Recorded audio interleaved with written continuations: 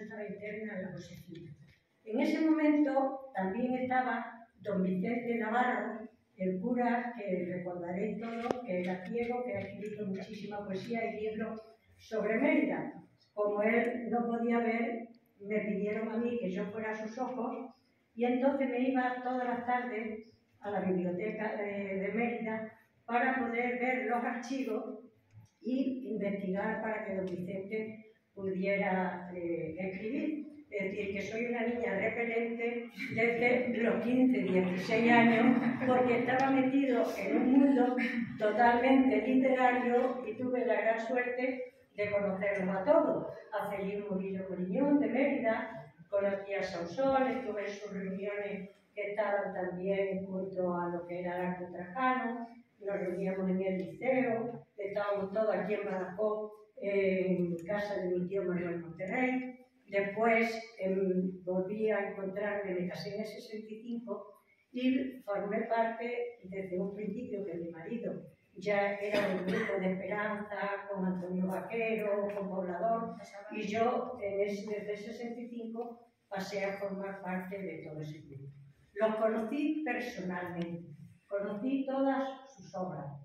Eran los poetas malditos, éramos malditos en todo lo, que nos movíamos. Yo también, porque yo conozco a Correa, que nos hemos saludado antes. A mí me dedicó el periódico en la página central, pero estuvo vida y no la publicaron hasta el 77. Entonces yo hablo de cómo ellos, que eran autodidactas, que eran unos auténticas mentes privilegiadas, cómo disfrutamos, cómo nos teníamos que ir por la noche a oír cantar a Vaquero Poblador en la parte del teatro romano su Guantanamera, de cómo disfrutábamos de todo esto siempre hemos vivido en la clandestinidad. Y yo ahora, en la vejez, utilizando su, eh, su centenario, yo que tengo 81, pues me ha hecho recordar de aquellos momentos que vivíamos en la clandestinidad, que tanto trabajo nos costó sacar adelante y que ahora agradecemos muchísimo. Yo me voy a auto eh, poner, no, elogiar, no, eh, a decir que yo quiero formar de esa parte y en nombre de ello de, de, alguna forma disfruto que ahora, desgraciadamente, que ya no están aquí presentes, se reconozca su maravillosa obra. Y yo digo que aquí me voy a decir que disfruto, de alguna forma yo no quiero elogio personal ni nada de nada, no me conocí ninguno, no he dado mi nombre.